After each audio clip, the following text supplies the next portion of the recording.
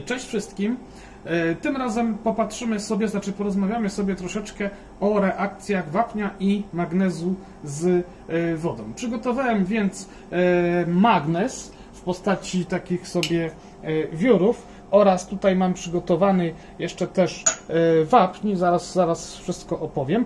Tu, tu jest oryginalny e, pojemnik, ten wapń jest w oleju, więc ja go tutaj wpuściłem do eteru naftowego po to, żeby go opłukać z tego oleju. To są takie małe e, kuleczki tego, tego wapnia, zaraz zresztą zobaczymy.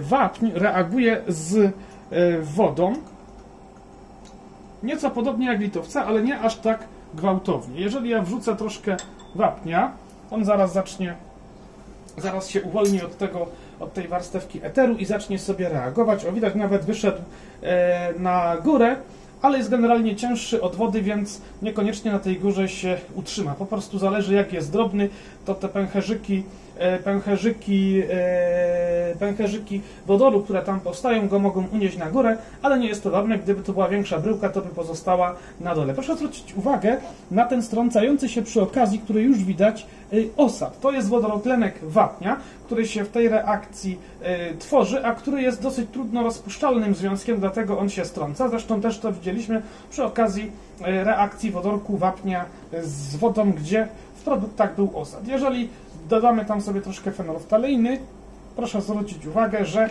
pięknie się zabarwiła na malinowy kolor właśnie od powstającego roztworu wodorotlenku wapnia. E, Teraz zobaczymy, jak z kolei zachowuje się magnez. Może to odstawimy e, na bok, a teraz do probówki z wodą wrzucę stróżkę magnezu.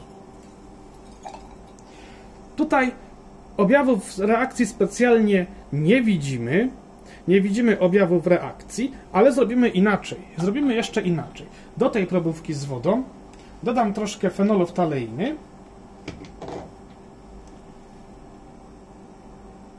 Tam wystarczą za dwie kropelki. I wrzucimy jeszcze, jeszcze jeden kawałek magnezu. I poczekamy. Proszę zwrócić uwagę, że od razu przy powierzchni magnezu pojawia się barwa właśnie e, malinowa. To znaczy, że reakcja jednak powolutku zachodzi. Nie widzimy wydzielającego się wodoru. Nie znaczy, że tam nic się nie dzieje, ale do tego też zaraz wrócimy. Jeżeli z kolei wezmę wstążkę magnezową, wrzucę do wody, może damy tam troszkę tego magnezu więcej. Mam nadzieję, że mi się zmieści. I zanurzymy tę probówkę do ciepłej wody, to zaraz zobaczymy, że jednak ta reakcja zaczyna zachodzić y, w widocznym stopniu. W widocznym stopniu. Ale to oczywiście chwilę potrwa, bo ta woda musi się zagrzać. Zanim to się zacznie, to może ja jeszcze powiem o rzeczy trochę e, innej, mianowicie takiej, że przecież ktoś się może tutaj nas przyczepić. Pokażę może planszę. Jeżeli wiemy, że magnes reaguje z e, wodą, to jest racja, ale być może reaguje tylko na gorąco. Natomiast zwróćmy uwagę na to, że przecież tlenek magnezu też reaguje z wodą i daje e, wodorotlenek magnezu, który ma odczyn jednak zasadowy, na tyle zasadowy, że fenolftaleina przyjmuje zabarwienie malinowe.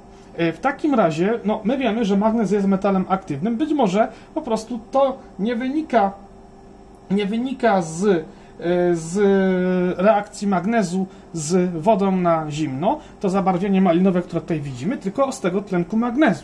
W takim razie spróbujmy ten magnez usunąć z niego ten tlenek magnezu. Przygotuję sobie probówkę z wodą. E, przygotuję. Tu cyknę sobie tutaj troszeczkę fenolftaliny, tak jak poprzednio. Tak. A tutaj mam probówkę z kwasem, rozcieńczonym kwasem solnym. Spróbujmy nadtrawić, nadtrawić ten magnez, żeby wytrawić z jego powierzchni właśnie ten, ten tlenek magnezu. Proszę, jak się pięknie wyczyścił. Jak on się pięknie wyczyścił, wypłuczemy go sobie. Wypłuczemy. Proszę zwrócić uwagę, jak on teraz pięknie wygląda. I wrzucimy do tej kolejnej probówki. No, chodź. Nawet nie trzeba długo czekać, bo ta fenolftaleina, która została na ściankach, proszę zwrócić uwagę, że mimo, że jest wyjęty prosto z kwasu, to już reakcja widocznie odczyn zasadowy zdecydowanie zaczyna, e, zaczyna nam tutaj e, powstawać. Dalej zwróćmy uwagę na to, co się dzieje w tej probówce. Tu teraz widać, że jednak wodór powoli się wydziela. Magnez jest pokryty e, pęcherzykami.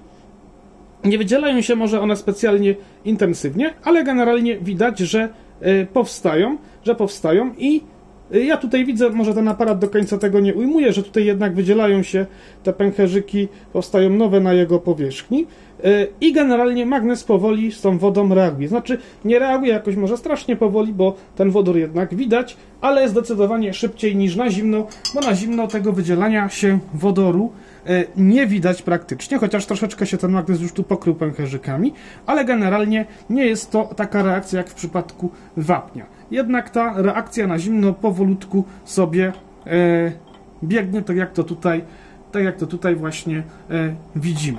To znaczy, nie widzimy wydzielania się wodoru bezpośrednio, bo reakcja zachodzi zbyt powoli, ale nie znaczy, że ta reakcja e, nie zachodzi wcale. Ok, no to tyle, co chciałem pokazać. Dziękuję za uwagę, pozdrawiam.